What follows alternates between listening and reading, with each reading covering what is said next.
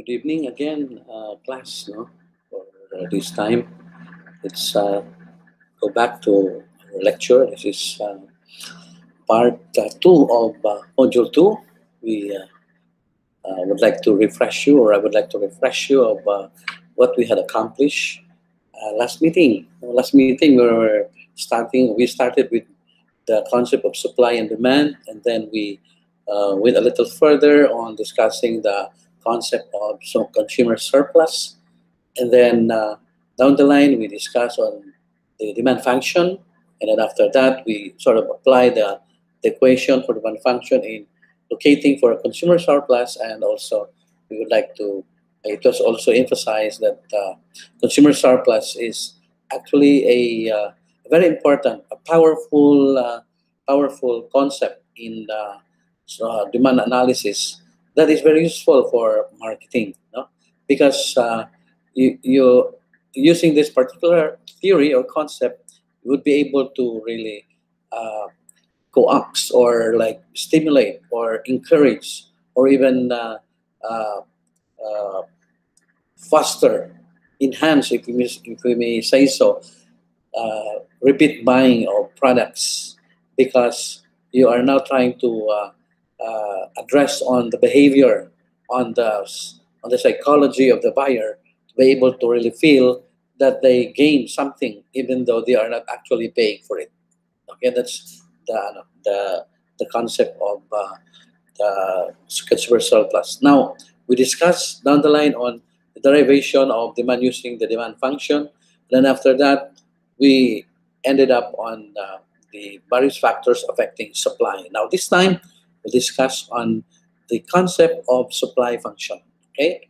Now, formally, supply function describes how much good will be produced at an alternative price of that good, alternative input prices, and alternative values of other variables affecting supply. So, in uh, terms of implicit function, we have QD, QD out. Actually, this should be QX, QS of X. So, it should be QS of X is equals to is actually a function of px, the price of that good in particular, and then the price of uh, input, and then this one is the the what the the wage rate, and then uh, which is labor, no, and then also the uh, h is actually value of some other variables affecting uh, supply. Okay, if we have a linear supply function, it should be qs of x. This should not be qd of x. No, it should be QS of X because we are dealing with a supply function. So if we are linear function, then we sort of substitute these different values there, there. And then, for example, the price of good that is under consideration is 400. And then the price of uh, related goods, which is uh, uh, 100. Remember, the related goods could be a substitute or a complement and price of inputs, which is W, considering, for example, labor, no? 2000. And then the equation becomes 2000, no? which is uh, the intercept, uh, plus uh, you have 3, which is the coefficient. It is actually uh, given 400, which is the price of X. And then you have here minus, okay? Minus 4 times 100. And then minus also. You have uh, this uh, sign here. These signs are very important because, for example, this the 4PR, price of related goods. Okay, if the price of related goods, if it is a uh, you know either a substitute or a complement, it the, the sign will matter. No, the sign will matter. No? If it is a substitute, naturally the the increase in price of uh, good, it will decrease the price of the substitute. Okay, that means to say there is a, a, a less than zero like reaction of a particular uh, goods which will be affected by the, the, the price of that particular say uh, goods under consideration. So inverse inverse relation between the price of related good and the price of the good under consideration. Okay? So and we have also here negative, which is negative 1, which is, what does it mean? If we put here negative, remember this is what? This is the price of input. Naturally, if input price will increase, supply will decrease, right? So that's why it's negative. So input here would always be uh, strictly less than zero. Okay, farmers normally reduce would, would have the tendency to uh, uh, reduce production if input price becomes very expensive. Okay, so that's exactly the reason why we just did not put there uh, negative or positive without any reason. Now, of course, this one, the price of goods under consideration should always be strictly positive, okay? Strictly greater than zero. Why? Of course, very obvious. If you are the producer, if the price increase, you will increase your supply, okay? So that's that's the reason there. So uh, substituting these values, again, using the same algorithm, so we plot that out in this particular curve. So you have here the the the values plotted on the on the on the curve. No? And then you uh, you have here uh, px p p the the the p there should always be at the at the what at the y-axis because price in the market we do not have any control. In other words, that is an endogenous variable. Okay, the exogenous variable, which is which are these are the factors under our control, should be at the x-axis. So that's really the the intuition why from this equation q we derive it using the p in the left hand side of the equation. The, the very clear econometric uh, intuition there is that price is we the, the whether supplier or customer we are always uh, price takers. Okay, price taker. That means to say we do not have control of the price. The price is an exogenous or endogenous uh, variable. No? So that's one. So we have here in the in the graph the the producer surplus. No, the producer surplus. Okay, let me uh, the producer surplus here. You have here, which is actually the area above the above the what supply curve and below the price line. Okay, so that that's that's the that's the almost like the opposite of the uh, consumer surplus because the consumer surplus is the is the area below the demand curve but above the price line. This time the price line is uh, the price the producer surplus is below the price line but above the supply curve. Okay, so take note of that. The concept of uh, producer surplus. Producer surplus formally is the amount producers receive in excess of the amount necessary to induce them to produce the good. Or this is the area above the supply curve but below the price line. Okay, that one. The area you have here below the price line but above the supply curve. So that means to say, naturally, price will increase, it will increase the producer surplus. But as price increases, as price increases, it will also decrease the consumer surplus. That's why the consumer and the producer or the consumer and the seller really have really has to or they have to negotiate how much of their consumer surplus on the part of the demanders can would be able to let go in order to gain what? The the particular good and also how much of the ano how much of the producer surplus can the can the seller be able to really go in order to be able to make a sell because if the producer surplus is higher than what the consumer can accommodate there is no there is no sell there is no market. Negotiation fails no? So that's why the bargaining process actually is the exchange process of producer and consumer surplus. Okay, so we come now to market equilibrium. Okay, market equilibrium. As I have told you a while ago, the producer surplus and the consumer surplus is the object of negotiation. Okay, if the consumer are willing to buy, if they feel that they have maximized their consumer surplus. However, the producer also are willing to sell if they feel that they have maximized or optimized their producer surplus. So it's now a trading, it's now a like a negotiation or a trading of consumer surplus against producer surplus, and then until finally they find equilibrium. How much each one are would be willing to sell or buy at that particular price, where the consumer and the producer surplus actually just uh, kind of create an equilibrium.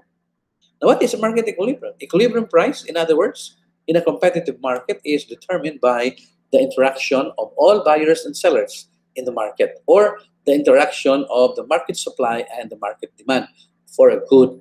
Okay, why market? Uh, why? Because market always clear or settle at the equilibrium point. That means to say, if there is agreement between buyers and sellers, then there is a market. There is agreement. The producer are willing to sell or sellers are willing to sell and consumers are willing to purchase. So that there is what we call as market equilibrium. Now, we go into looking at this particular dynamics. Okay. Now here we see that, sorry, we, we see that there is a what? There is a uh, a red and the and the blue arrow, no? So uh, let's begin with, for example, this the, this particular graph explains why transactions always happen at the say equilibrium point. Okay, for example, this one. If the price is set at P, PL, P sub L, no, low price here, okay, what happens?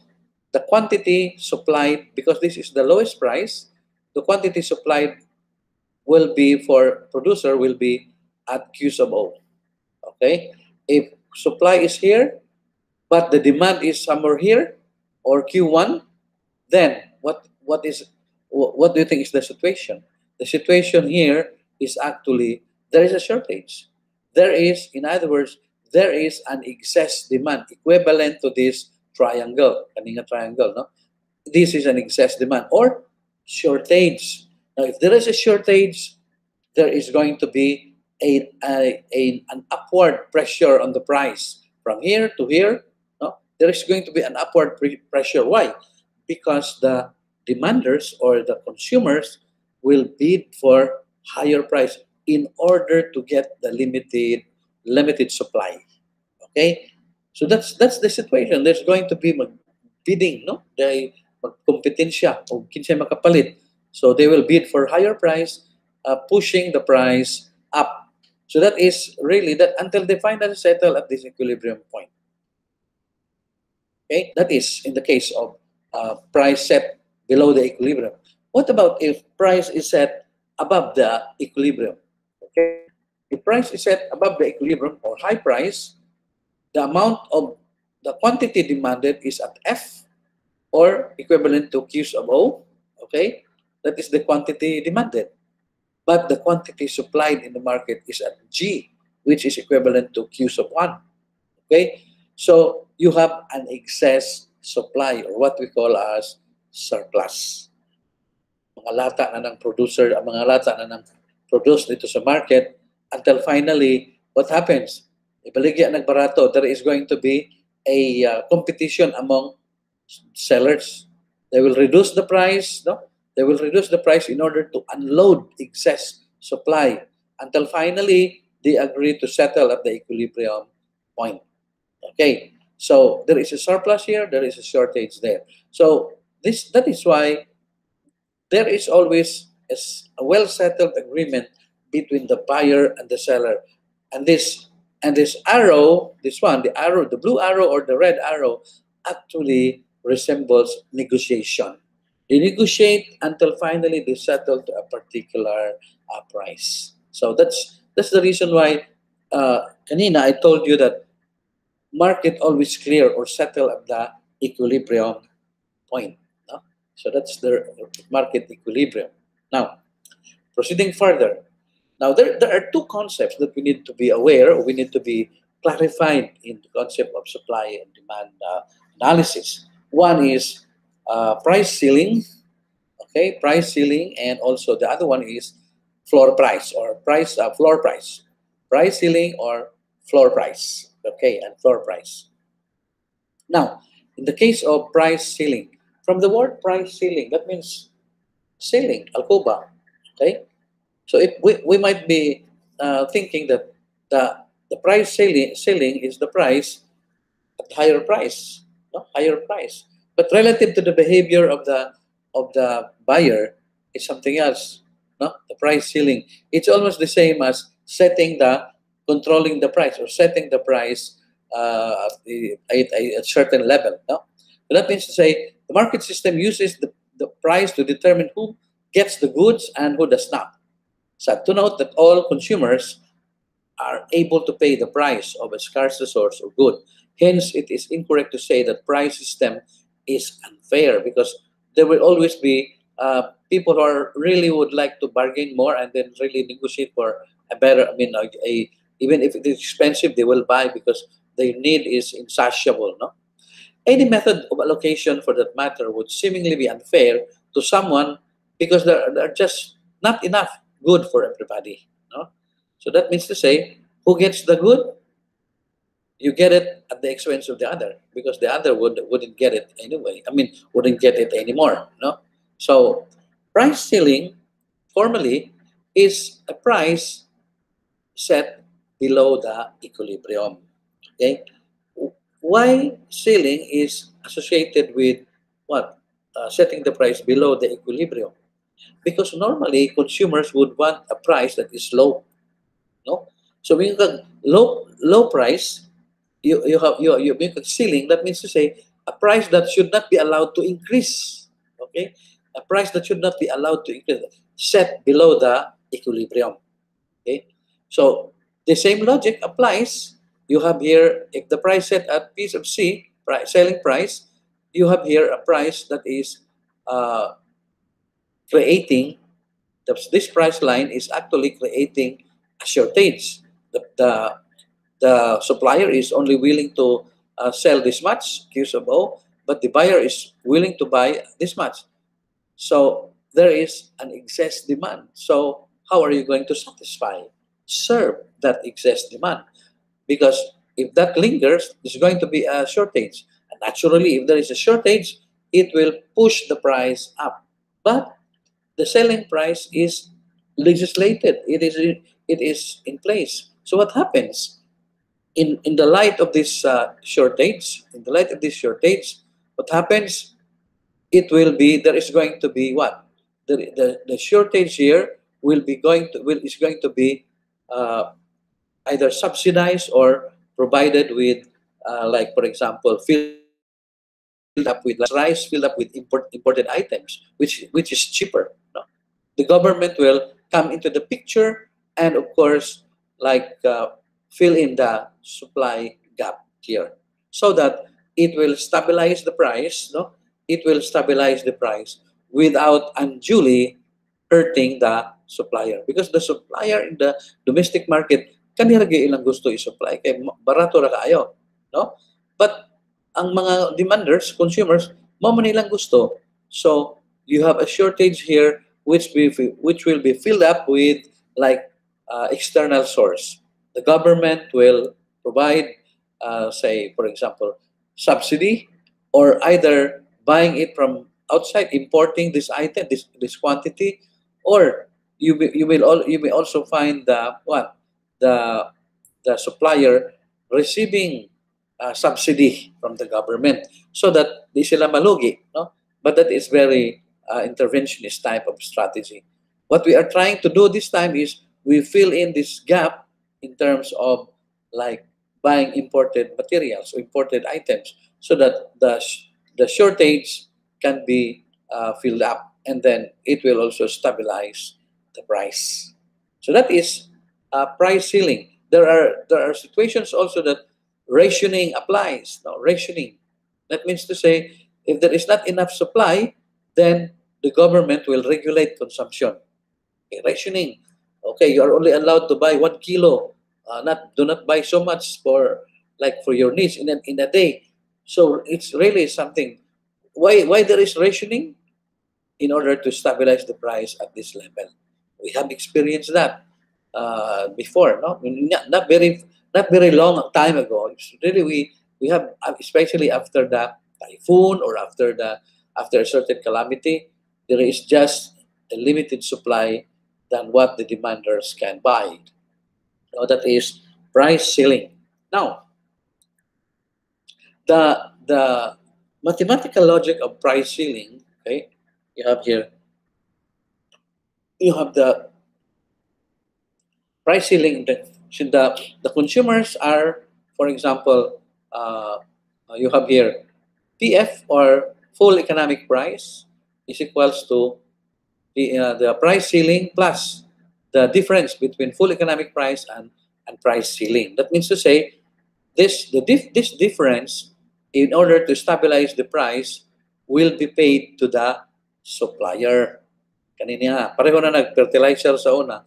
The, the fertilizer cannot really, ano, cannot really, uh, uh, cannot really uh, be allowed to increase its price. Otherwise, it will harm the, the producer. So what the government did, what the government do, was to subsidize fertilizer. For every bag that the fertilizer manufacturer produce, the government will pay 1,000 because in the market, if there is a subsidy, it's going to be 2,000 or more. No? So in order to to control the price, to set the price at the equilibrium, at the at the ceiling price, so you have to prevent the escalation of input price. So it's uh, one, one thing also uh, using uh, done that way. No? So we have already that, the ceiling price, the, the area below the equilibrium point. Okay. Now, let's go to floor price. Okay.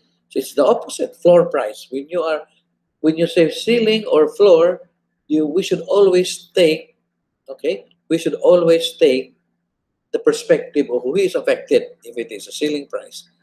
If it is a ceiling price, sellings, uh, ceiling price, the one that is affected is always the supplier. Okay. Well, the demanders can be affected by the shortage of supply also actually. So price floor. In contrast, price ceiling, the price ceiling, sometimes equilibrium competitive price may be considered too low. No? Too low. Equilibrium competitive kung ato isettle sa equilibrium price, ubos na kayo. Perhaps the best, uh, for example here, no? let me just go back. No? Uh, perhaps the best known example in the, in the case is legislated minimum wage. No?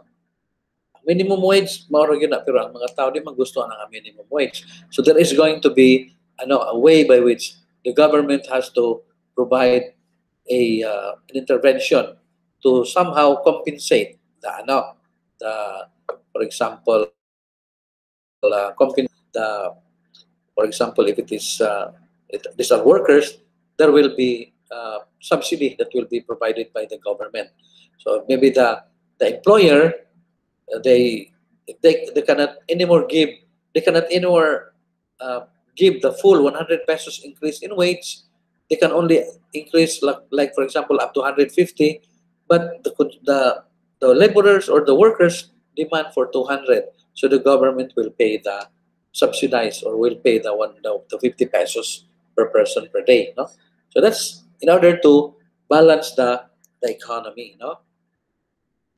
Now what is the dynamics of a floor price? Okay. A floor price is a price set above the equilibrium, no, above the equilibrium. So that means to say, uh, who benefits in the floor price? Actually, the the the benefit, okay, the benefit goes to the to the supply to the demanders, no. The demanders, oh no, no, goes to the supplier. No, the benefit goes to the supplier because they are willing to supply this much, but the demanders, the, the consumers, is is feeling like it's too much, it's too expensive. Okay, we are only going to buy at this point. Okay, ng mga demanders. So what happens? There is excess supply or what we call surplus. But there is already a floor price. Like for example, if this were uh, rice, the government already set this one as the official price. And then the the what? The the consumers that's too expensive. We cannot buy at that at that point. So there is a surplus, okay, in the market. So what will the government do? The government will freeze the, no, will freeze the like uh, the price at this point, so that it will not hurt the supplier. It will not also hurt the demanders. So that means to say this surplus, in order to stabilize the price, this will be bought by the government. That's why if it is uh, uh, if it is uh, if there is an excess supply in the market, the government will buy that, and then if it is possible during times of uh, shortage, the government will release that supply in order to regulate the price. No, so that means uh, here the, the this particular uh, situation is kind of opposite than the price ceiling. Okay. So you have a concept that is uh, a policy. No, this this is actually a policy question. Uh, sometimes the government use this instrument, price, uh, giving, uh, pro, implementing a ceiling price, or sometimes the government will institute a, a floor price. Maybe, for example, the government can already uh, set the uh, suggested retail price for rice. No, so suggested retail price. Okay, you have your Canadian, and then the demanders only can only afford to buy that. So what the government will do will provide cheap price for the, uh, for example, for those who cannot afford, the government will buy and sell it to the uh, to the poor people at a lower price, so that the official price in the market is is set at the at this particular level. So that's the interaction between the supply and demand in the market using the concept of equilibrium, uh, market equilibrium. So the next topic that we need to discuss here is the concept on elasticity. Okay, elasticity uh, concept. Now, meaning to say, if you come to think about elasticity, from the word elastic, that means there's a, there's a there's a stretching point. There is a stretching point where you uh, where, where with the word something that's going to stretch in response to a particular pressure in the market. There is only one very important pressure in the market that is price. Okay, quantity supplied and demanded always respond to price. That means to say the the responsiveness of the quantity demanded or supplied with respect to price, that is what we call as elasticity. No? Response. Elasticity, the responsiveness, responsiveness of one variable to a change of another variable, in this case, uh, price. Okay? Say for example, no? say for example, there is going to be an increase in, in increase in tuition fee of, for example, private education increase in tuition fee, maybe 10% or 20% increase in tuition fee for private universities. What do you think will happen?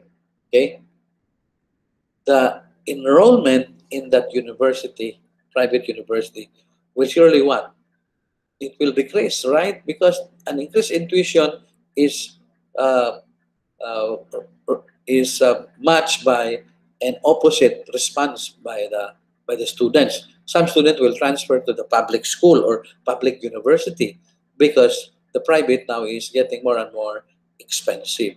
So formally, you have here, if this that is the situation, you have this one, this uh, uh, equation here, percent change in enrollment over percent change in tuition fee for every change in percent change in tuition fee. Alternatively, the formula can be rewritten formally in calculus uh, form using this notation.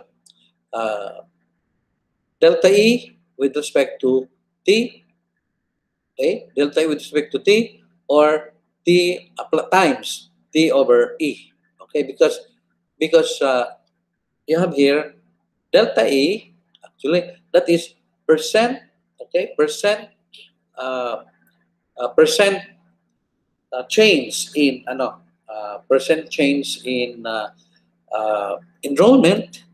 If you say percent change in enrollment you have you, you what you what you will do is you have uh, enrollment at, at time zero minus enrollment at time t or time one all over time zero. So that means to say when you do that you get a, a percentage okay? A proportion of the change percent change in that particular. The same thing with tuition fee. Tuition fee at time zero and tuition fee at time minus tuition fee at time what? Time uh, like uh, time time one okay? T sub one all over t sub o okay? All over t sub o times zero.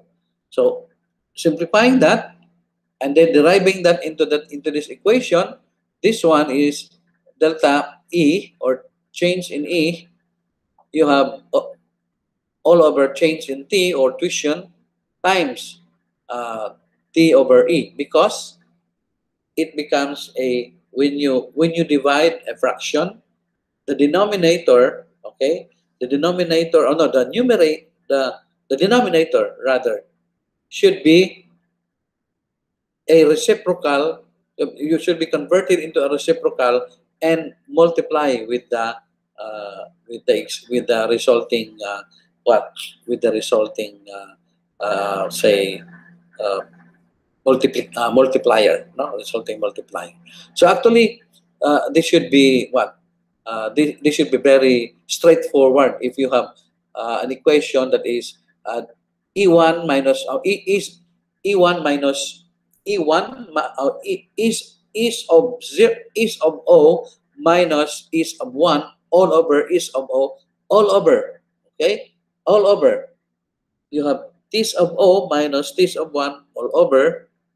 You have this of o or time uh, original t okay so that means to say when you divide a fraction with a fraction it goes without saying that the that the, the resulting uh, simplification will be a product of the two elements where the denominator you, you get the reciprocal of the denominator and multiply with the uh, with the fraction of the numerator. Okay? That's why it becomes like this. Okay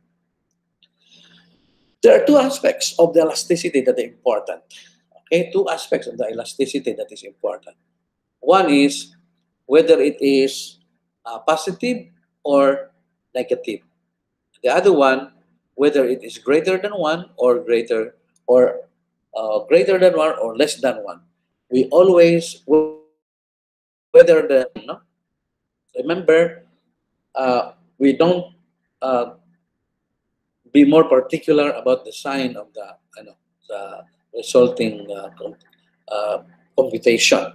What is important in elasticity i would like to emphasize is whether it is uh, uh, shall we say positive or negative first but it does not mean to say that it is like for example uh, it is it has it has it has some bearing on the value itself. No the positive or negative sign is only important in terms of the direction of change. That's that's it. No no more not more not also. It's just the it's just the, the one that is very important if you get a positive or the negative sign. So that, that means to say it's just the direction. It just points to the direction but not in terms of the value. What is important in the value is the absolute value. If it is plus 3 plus whatever or negative 1 negative 2 something it's we get the absolute value okay? The absolute value correspond to the uh, magnitude of change okay? Corresponds to the magnitude of change. But the sign will also will only tell us about the direction. If it is negative then it's in opposite direction. If it is positive then it's in the same direction. It's only important there no? Doesn't have to be very particular about if it is a negative value that is less than zero no it's not. The value only becomes important if we get the absolute value. Now there are various types of elasticity. Here you have own price elasticity. When we say own price elasticity, that is the, the responsiveness of quantity demanded in response to a change in the price of that particular good. Own price elasticity.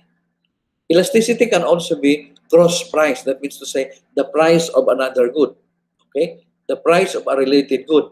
There is going to be also a responsiveness of, uh, say, quantity demanded in response to the change in price of related good. Okay, just like for example, I I, I told you, if if the price of, for example, if the like uh, say uh, between rice and corn, if the price of rice or if the price of corn becomes uh, like for example uh, will increase or really increase ang price sa mais it's too expensive for the ano for the consumer. Some of the consumer will shift to ano will shift to uh, rice eating rice no longer uh, corn. Why? Because corn has gone more and more expensive. So that means the increase in the price of substitute will actually affect the the uh, ano the the consumption of the goods under consideration of a particular good under consideration. So that is cross price, but this one is own price elasticity. Okay. Now own price elasticity is really just straightforward. No? If you are given an equation, own price elasticity is the partial of x with respect to x to px. Partial of x with respect to px times px over qx. That is straightforward. It's partial derivative, no? Partial. Although you can still solve that, no? You can still solve that if uh, the given is, uh, if the given will allow you. How, how will you solve this? This particular, uh, say for example, notation. How will you uh, solve this? You have in in the in the in the change in qx, you have q q's of zero minus q's of one all over q's of zero all over okay? P piece o a piece of o okay? Minus piece of 1 all over piece of o. So it will amount to the same thing this one this one no? so we are just using a more straightforward uh, like uh, uh, dis discrete or continuous so let's say uh, simplification using the the art of say simple calculus now partial qx with respect to px times px over qx. So the quantity demanded. Now, that is the formula. Recall that there are two important aspects of elasticity value. One is the sign. Gamit sa sign is only to tell us the direction of change. Okay? Kung negative, that means opposite ang iyang direction. Okay? And then kung positive, it ano, it uh, uh, points to a, a going in the same direction. And then this the the value only tells us once it is once we get the absolute value, if it is negative, you extract the absolute value, you get the value equivalent to the what equivalent to what is given, then that is the magnitude of, of change. By argument, the law of demand, there is inverse relation between price and quantity demanded. Thus, on price elasticity of demand is a negative number. Okay, so ang on price elasticity of demand is always a negative number. But we, as we have said, the negative, the sign only matters in terms of direction. But the, the number itself, the absolute value of that number will tell us the magnitude of, of change. No? You have here the three types of elasticity. Just as a review you have here the elasticity which is greater than 1 okay it is elastic okay elasticity that is uh, uh, less than or less than less than 1 that is inelastic less than 1 elasticity. Like 0.9 point whatever.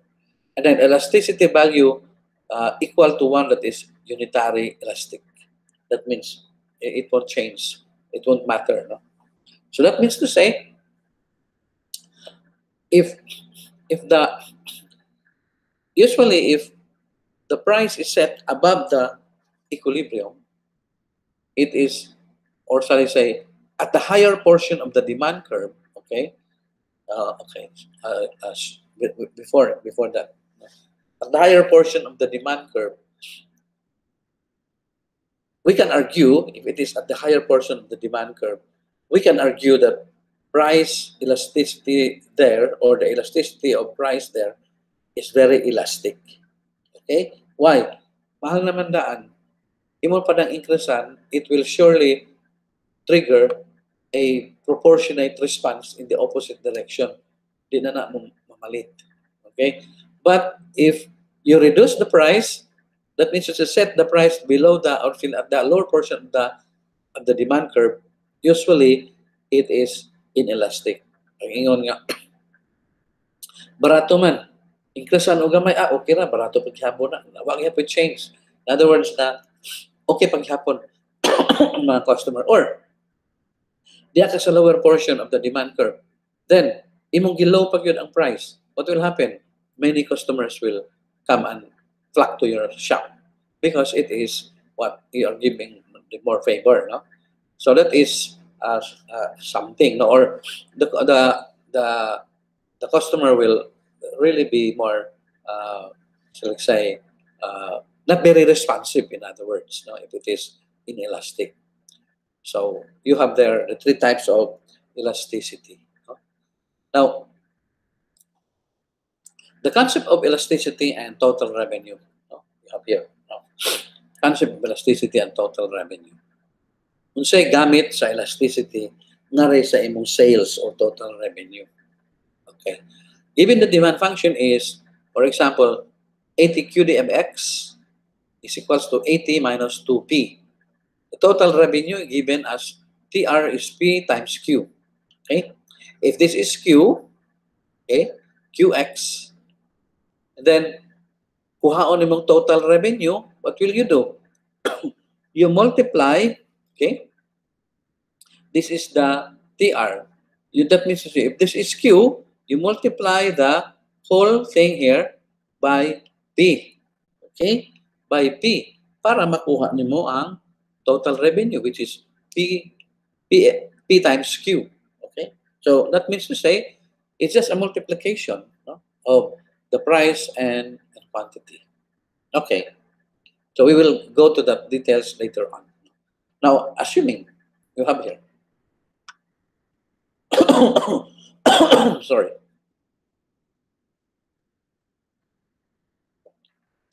Moving a little further on the effect of elasticity on total revenue.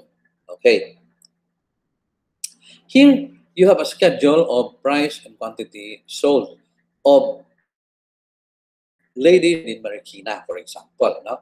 So you have from 215 or, or of course, uh, zero or a little over zero to 215, 130 until the price is when it, it when it reaches what 1,700 a pair, wala na yung mamalit. No? Wala na yung mamalit. So, you have here uh, the price ano, uh, schedule and you have the quantity sold uh, schedule also. From 80,000, it goes down to 10,000 in response to, to price. Well, we can compute, no? We can compute the, like for example, uh, elasticity, the elasticity of, of px, no? elasticity with respect to, to px. So you can you can compute that using the formula, okay? Using the formula, if you can, ano, using the formula uh, Q of O minus what? Q1 all over uh, Q of O. No? So that is that is the quantity. And then ang, ang denominator, there is obos, denominator, okay, ang denominator is you have P1 minus P2. Okay? All over P1. So what will you what will you get? You have you can simplify that and then compute the elasticity at the point you have uh, here computed as, of course, uh, uh, for example, zero, and then you have negative 14, negative 3, the same formula, no? and then you have negative, uh, no, negative uh, 1, and then and so on. Why is this all neg- why are these all negative? Because as we have emphasized, uh, own price elasticity would always have a negative sign. Why? Because it is assumed na imong gi-increase naturally ang imong original price is lower than the ano uh, new price. So that means original price minus new price negative yun ang resulta. And then nga po ka sa quantity, original quantity minus the new quantity negative gihapon, no? Negative gihapon. So it's it's uh it's always getting you will always be get, getting negative elasticity value. But as we have said, the the value is actually uh, used in uh, is actually uh, is immaterial or shall I say the sign actually is immaterial because the sign will always tell us the direction. But the actual value is made useful once we get the absolute value because it's it's going to tell us also about the, the magnitude of change. Now talking about the magnitude of, of change from from this value from 0.4 0.14 rather it increases to 0.7 okay? It increases to 2.7 also 7.0 no? Sorry. To 7.0 then from there you have what can you observe? It's from inelastic and then increase increase okay? Increase increase and then it becomes unitary here equivalent to 1 and then as you as you increase the as, as you increase the price uh, further okay it becomes more and more elastic down below. Until it's very elastic at the no at the at the lower I mean at the at the 1505 level. So what does it mean? It's very difficult no? It's very difficult. From from from 1.67 no?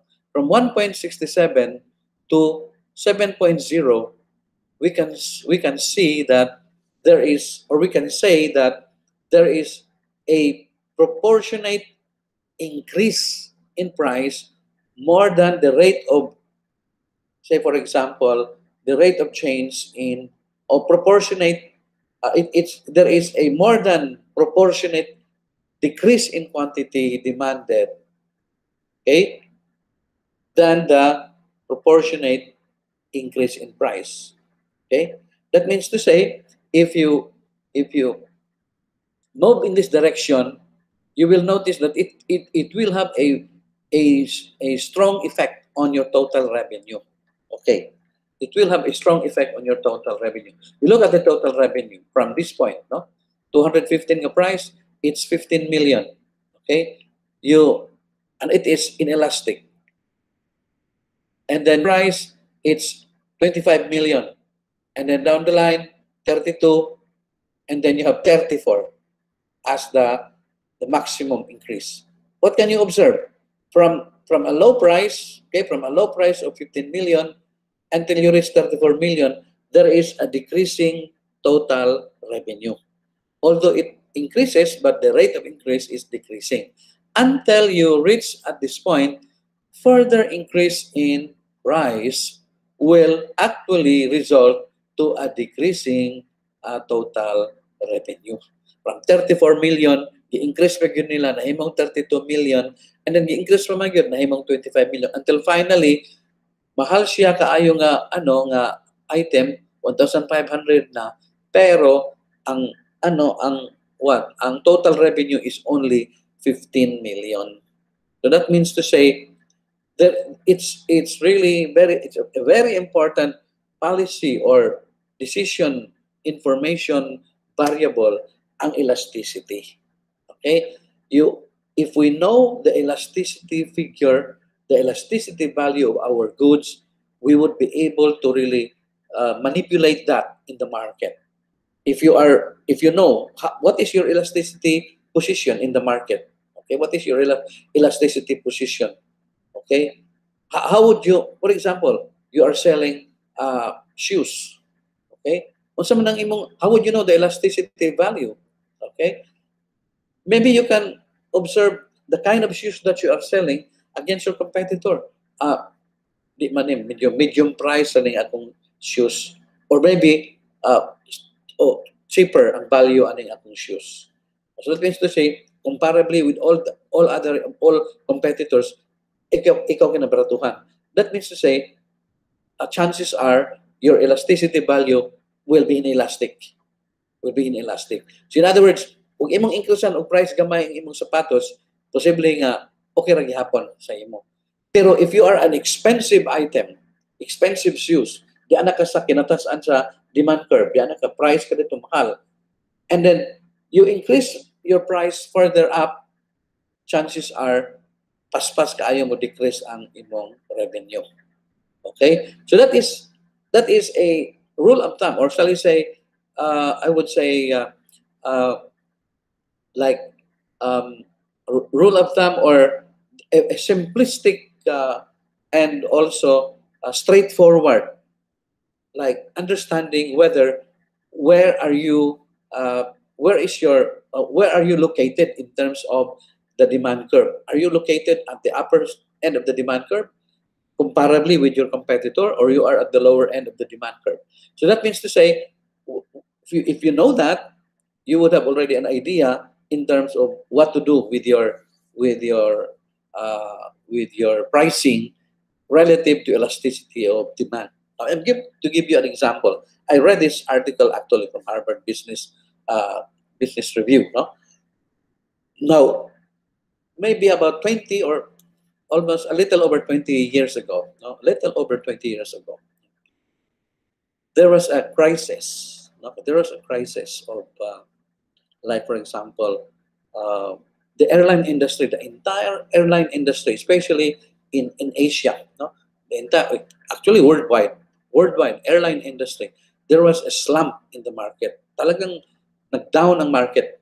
And then the one that is really uh, affected very much was Singapore Airlines. No, Singapore Airlines because it was their first attempt to really enter into the market, and they are really what they are really very aggressive in their in the pricing, very aggressive. And then because of the slump in the market, people are becoming, uh, I know people are becoming afraid of flying or something like that. One of their routes, no, one of their routes from Singapore to Hong Kong and from Hong Kong to Seoul, South Korea. Of course, from Singapore to Hong Kong, ang pinakadako nila nga ano, pinakadako nila nga mga mga mga tao and causing them a lot of uh, really concern are South Koreans because it, it was during the time that South Korean uh, business was booming and a lot of a lot of uh, South Korean businessmen are traveling. No, travel din sila here and there, no? And then the thing is there's a slump in the market.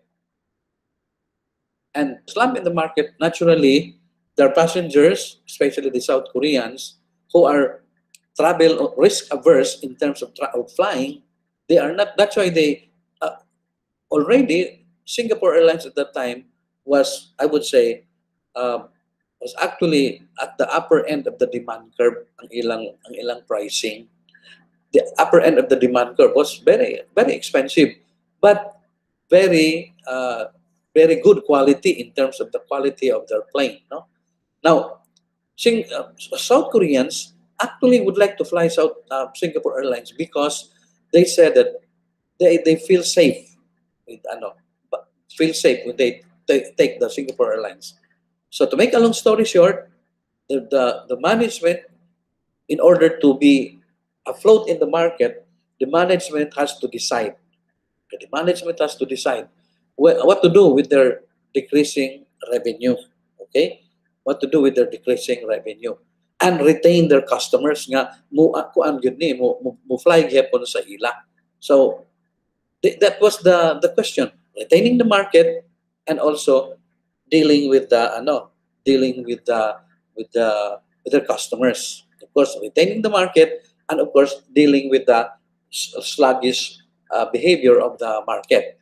So it's really very crucial for the management. Unless uh, they're not going to do that effectively, then they better close the, the company. But they did not close. Okay?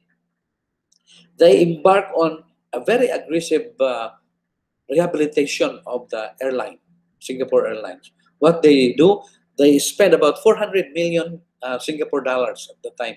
400 million massive uh, ano massive uh, investment to the company. What they what they actually did was to what buy they buy no they buy new fleet of airplanes.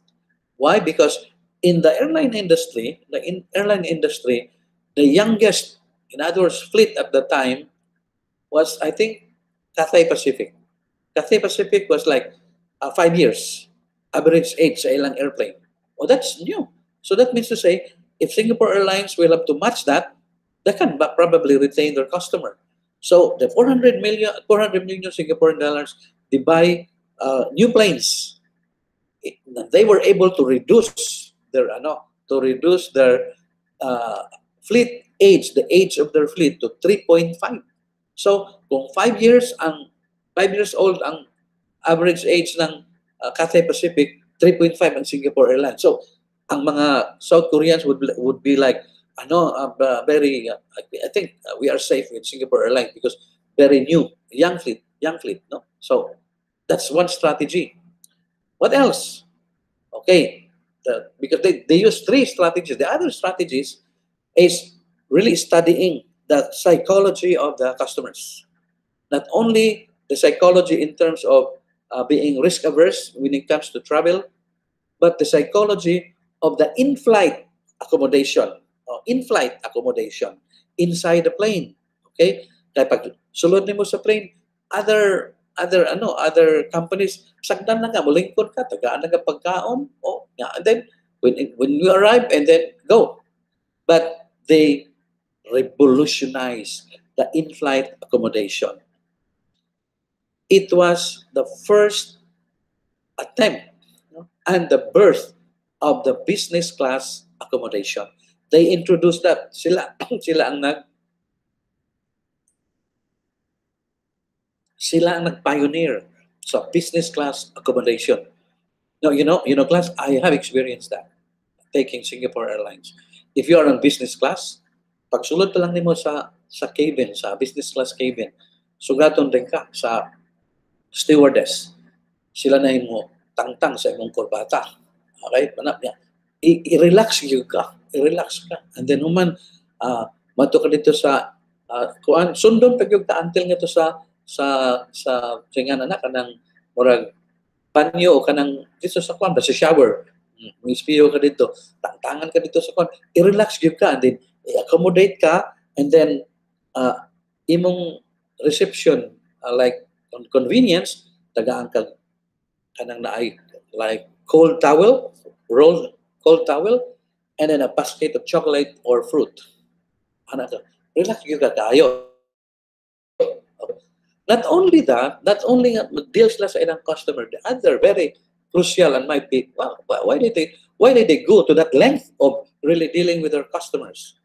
They change also the the get up or the, the attire of their stewardess. Ila pong giotro the psychology of the Koreans, pinakadako more than, can you imagine more than more than 70% of their passengers South Koreans? And then nakita Manila, according to their study, this really studied the market very detailed. The South Koreans, bisag imang tanawon ang ang stewardess karon sa Singapore Airlines. Unsa may makita ninyo sa stewardess nila? What? Unang-una, ang naka 3-4, kutob dire sa elbow, ang ang sleeve sa ilang sari, kanang ilang uniform. Tutob sa elbow. Okay? Nya, what else? Ang buhok, ana, nakapangko. Nari. And then, reveal ang neckline diri sa tingkoy. Reveal na. And then, what else? Well, this is not to advertise, but they invest on Victoria's Secret just to pull up ang bust sa mga stewardess para feminine gyud kaayo tanawon pull up ang bust Victoria's Secret secret ilang gigamit according to the article no? But not to advertise. But this that it's really true. Pull up ang bust and then neckline taas. Why? Why are they going to that length? Because they know from their survey that ang gusto sa mga Korea South Koreans mga labi ng mga lalaki ganahan sila mo tanaw sa bukton sa babae o kaning neckline kaning likod ana sa babae. Kaya sila mo tanaw ana. And then, sa ila is feminine and very, very relaxing or something like that, no? So you feel then you will be entertained, and can you imagine when you you can really see the difference? I got, now I really have seen this. I experienced flying Singapore Airlines from Manila to Singapore or Manila to Bangkok. It's really very different when they approach the, the passenger. What will you what will you observe? An ordinary airline when you when the when the stewardess approach you, they will they will just say, uh, anything anything you need, sir. Uh, you have this one, this one, and know, and then you just say, and then the the the head of the stewardess is at the you at the top of your head also because it's she's standing. But this is different in the business class. In the business class, when you call the stewardess, they will almost kneel in front of you. And when you kneel in front of you, ang ilang low low nga uh, neckline ma-reveal partially ang ilang din sa dukhan. That is just to, to captivate the imagination of the South Koreans. And that is very clever. Psychology of the customer. And the last but not the least nila na powerful strategy. Okay?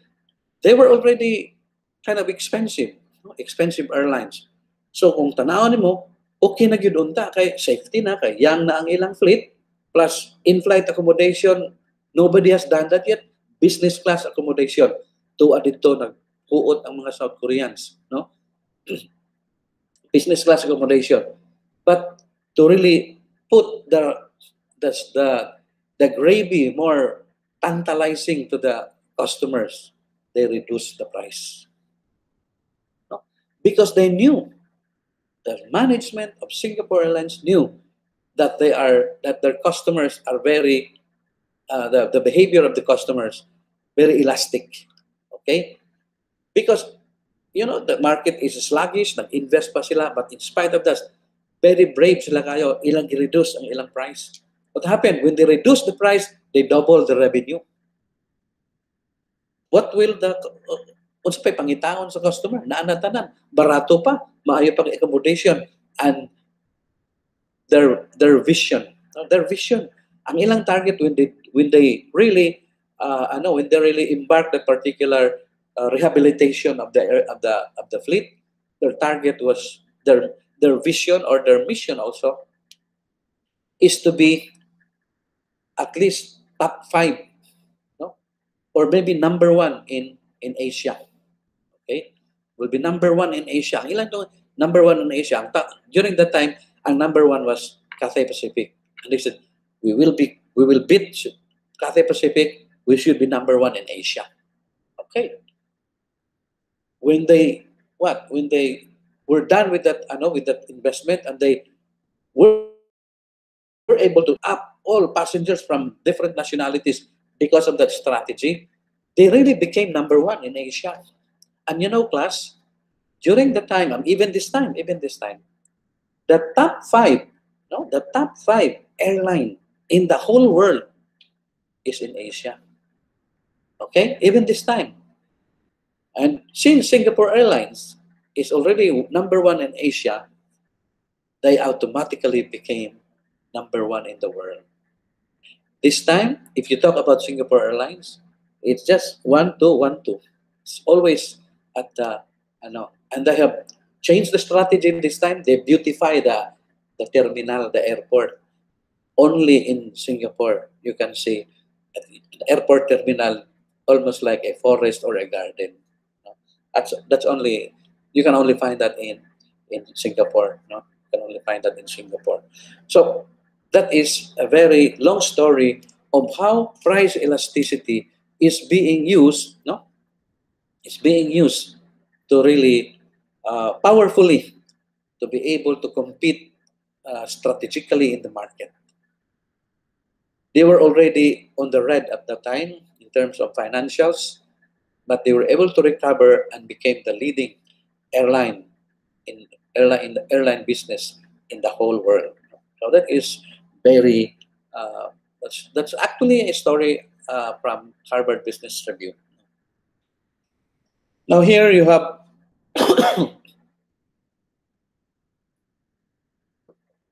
excuse me. Here you have a no a uh, an elasticity value at the higher end of the demand curve and then elasticity value at the lower end of the demand curve. That means the higher the price go, the more elastic the elasticity becomes. That means to say, when you go up to up along the demand curve, your elasticity becomes more and more elastic. While if you go down, the elasticity becomes more and more inelastic. So if you are still at the upper end and then you reduce the price, the proportion of total revenue will be will increase very fast. Okay, will increase very fast. Now, the total revenue test, if the demand is elastic, an increase in price will lead to an increase or a, a an increase in price will lead to a decrease in total revenue. The opposite applies. A decrease in price will increase total revenue and so on. And finally, total revenue is maximized at the point where demand is unitary elastic.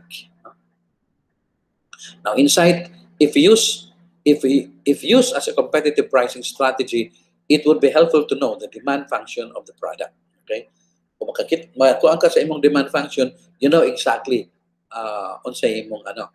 But but in unsay imong elasticity uh, uh, so let's say a figure. But in the absence of a systematic demand function uh, equation, how to know that you are, how to know, I mean, a, a very straightforward uh, diagnosis in terms of your possibly, your probable elasticity value is to compare your product with the same product in the in the market, competing product, so that you would know where you are, where do you fall along the demand curve. That's that's my that's my uh, uh, I would say experiential opinion, no? Experiential opinion. What are the factors affecting price elasticity of demand? One factor is available substitute. Okay, so if key is that the implication of the the implication of the effect of the number of substitute on the elasticity of demand is that the demand for broadly defined commodities tends to be more inelastic than the demand for specific commodity. No?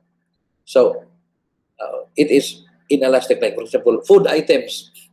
Food items against another food item. Very generic. Kung generic ang imong demand gitanaw, and that is that could be uh, the demand for food. Okay, the demand for, uh, for example, rice. Excuse me, class.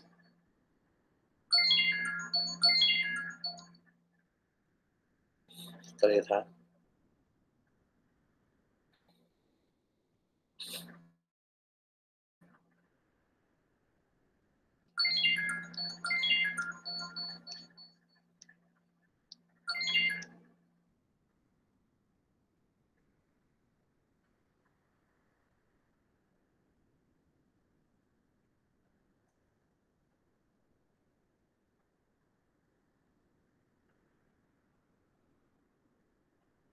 Okay. The demand for the the demand for generic item tend to have a more relatively uh, inelastic, uh, broadly defined. But if we talk about a differentiated product, it becomes more and more uh, elastic. No? For example, demand for transportation. But if you say demand for this kind of transportation over the other, very specific already, and that that becomes more and more elastic. More more elastic.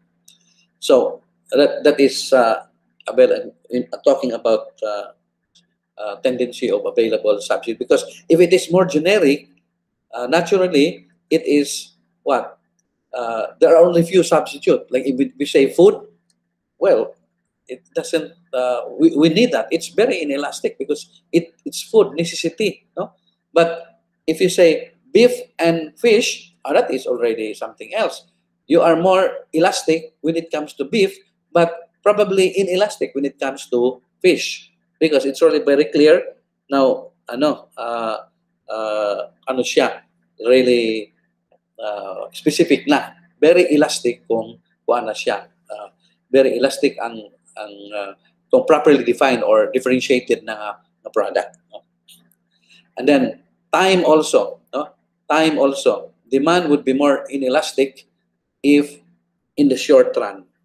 Pero nga ni og long run na siya, for example, you are in an emergency, kailangan ka mo palit, kay sakit na kayo imong ulo, emergency na, sakit imong ulo, na pain reliever. Pag ato mo, mahal man kayo, di na kami mahal. Pag na pain reliever, palit dayon. Kay, it's very, ano, pero if you say, uh, uh, longer period of time, okay? So you have, uh, other is like, you are, ano, you are, for example, uh, buying a medicine nga, not necessarily for emergency, not necessarily for emergency, maybe medicine for like, uh, say for example, for a, a, a precautionary uh, medi- medi- medicine for somehow for for a probable, say, medical issues that can happen maybe in about a month time or maybe in about six months time. What will happen? You are very elastic. If the price is what uh, increase, you with you withhold buying. Maybe next month okay pa na, barato pa na, no? Pwede sa kung palit karon or something like that when it comes to medicine, no? So it's really, ano, it's really uh, relative when it comes to time. Or if, for example, if like, uh, for example, fishermen, no? Uh, fishermen, ningon sila nga, namasol ka dito, unya, na ay, uh, pag pamasol nimo dito, ning kuan ka kada bitong naidak ning ning kuan ning na-increase nga price sa isda. Maybe from 100 na mo 150 okay increase in price. Momentary increase in price. So uy, mahal ang isda what will you do? Ikaw ang ano ikaw ang fisherman. Are you going to buy another boat para makakuha kag daghan niya. You will also ano you will uh, you will also uh, take advantage of the price. Of course not. Who knows? The following week barato na di ay. So you will not recover your investment. But if there is going to be a permanent increase in price like the price is going to be like this for the next five years or something or two years of course if you are the if you are the fisherman or uh, you are the producer you will now be considering to buy to increase your asset. So that during that span of time okay ra gyapon you can increase your production and recover the cost. Time is really very important. Expenditure share also. If if the if the expenditure share, if the expenditure share is uh, very small in your household budget, okay, very small, if there is a price increase, what will you do? What will you do? Very, very small. Gamay ra siya budget sa imo niya. Gamay ra siya proportion sa imong budget. There is a price increase. Are you going to decrease consumption? Rationally or uh, intuitively, you won't. Why? Gamay naman na. For example, increase in price of salt. Sabi ka nga, increase in price of salt. Sige lang na. Barato ra gihapon. But, if it is rice, rice, your main bulk of the ano, which up, which, which will be almost like, almost like 60% of your food budget, there is an increase in price of rice. Naturally, it's very elastic in response. Wow, mahal na kayo. I will buy a more cheaper variety or more cheaper kind. Or maybe I will I will I will mix with uh, sweet potato cubes so that I can still cook the same quantity or imong saksakan. No? You reduce the rice consumption and increase in potato. So because the expenditure share for rice is so huge in your budget.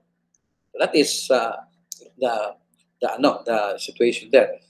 As I have explained a while ago, elasticity of demand is also can be can be computed also using cross price. In other words, cross price, if you are looking at price of pork, okay, price of pork relative to the price of beef, okay.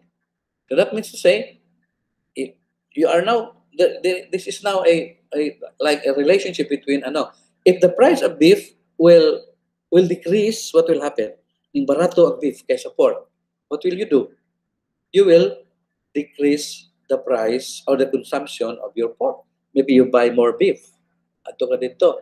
So there is that relationship in the ano. So uh, in in cross price elasticity, it's also affected by the price of related goods. Okay, price of related goods. So that in that